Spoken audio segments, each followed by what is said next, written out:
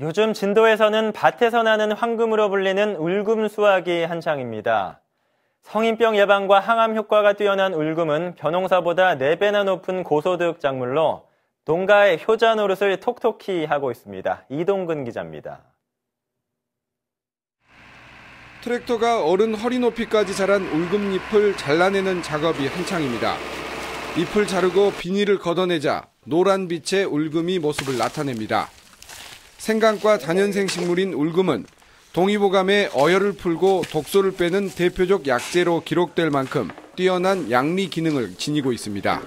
그 진돗것이 효능이 더 좋고 아무래도 이제 원산지가 진도이다 보니까는 더저 뭐야 효과를 보고 더 소비자를 많이 찾고 하죠. 해마다 파동을 겪는 대파의 대체 작목으로 재배가 시작됐지만 이제는 농가의 보배입니다.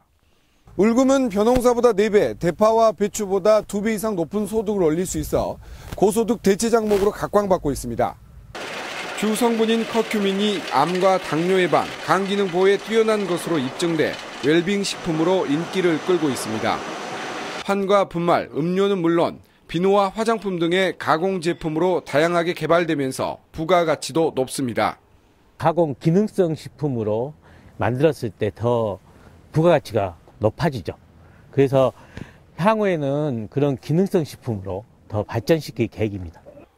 울금은 계약 재배를 통해 안정적인 판로도 확보돼 연간 80억 원이 넘는 소득을 안기며 농한기 효자 노릇을 톡톡히 하고 있습니다.